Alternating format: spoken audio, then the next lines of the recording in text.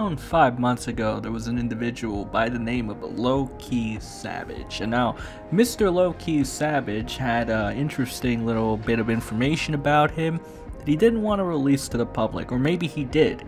But previously on a Twitter account that was confirmed to be his, he identified himself as a uh, MAP. And if you don't know what that stands for, then thank God you don't. But it's uh, it's it's not a good look. Uh, it's basically a way for people that are hmm pedophiles or go on the edge of that, and they just blatantly admit that that's what they are.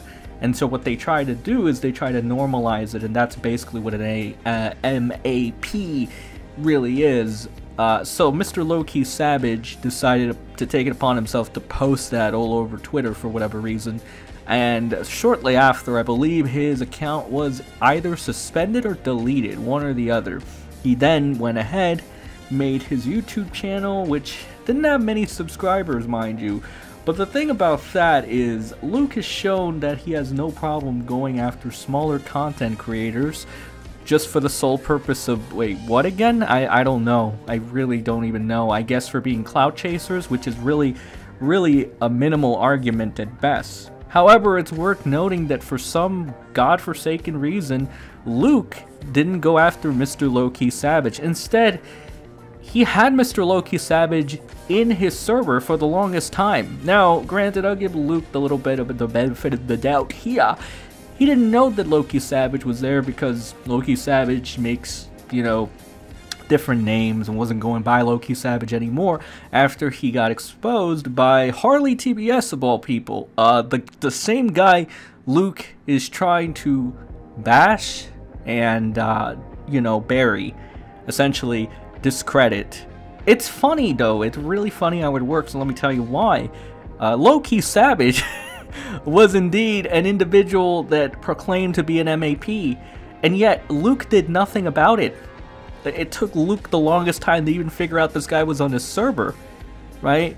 And not only that, but even if he was a small content creator, he was still kind of a danger in a sense, because he was still hanging around the Yandere dev community. So it just kind of goes to show you even more how incompetent and petty Luke is. See, Luke would rather take shots at children, right? Children that are going to expose him for being a lying, deceptive, manipulative person than moral grandstands to defend himself from criticism. He'd rather go after those people, right? He'd rather go after people like Just Stop and Harley. But when it comes to exposing Mr. Low-Key Savage, he doesn't do that because not not enough. It, it's not enough for Luke to get the clout that he wants, right? Because Luke will go after big targets like MiniLadd and whatnot, and maybe some unknowns here and there just so they can't defend themselves and he can just brand them as he wants and sees fit. But, you know, it, it always boggled my mind as to why he never decided to call out Low-Key Savage, you know? Luke was in the Yandere dev community. He was heavily invested in the Yandere dev community. Supposedly, everybody said that he did his research. Again, supposedly. So if he actually did all this research and had all this inside knowledge and he was really, you know, the pedo the pedophile uh, hunter of sorts, right? And he, he stood up for justice. Why the hell did Luke let this guy walk free, basically? Right? Because it wasn't, it's not like it wasn't, uh, you know, fresh news, and I've seen Luke go after other people for way less. I mean, Low-Key Savage literally had a lot of incriminating evidence against him.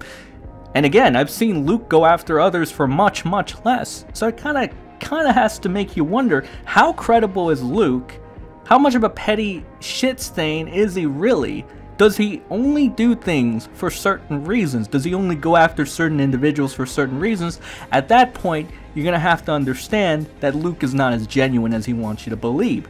And that's the bottom line because, well, it's factually correct. And because I said so, of course.